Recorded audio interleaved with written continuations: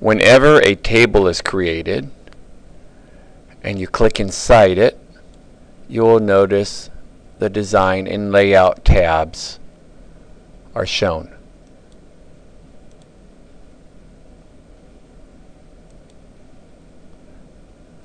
On the layout, in the data group, you have sort.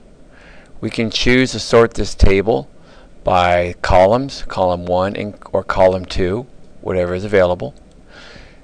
Also, if you have headers, you can choose to change it to the header row and it will take on the first cell of each row as the header name.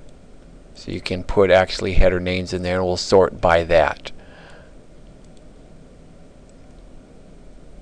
You can sort by two different things. Maybe if you have multiple columns, you want to sort first by this, all the numbers, and then all the names within those numbers.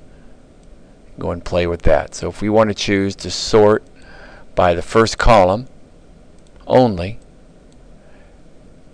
we can choose ascending or descending order.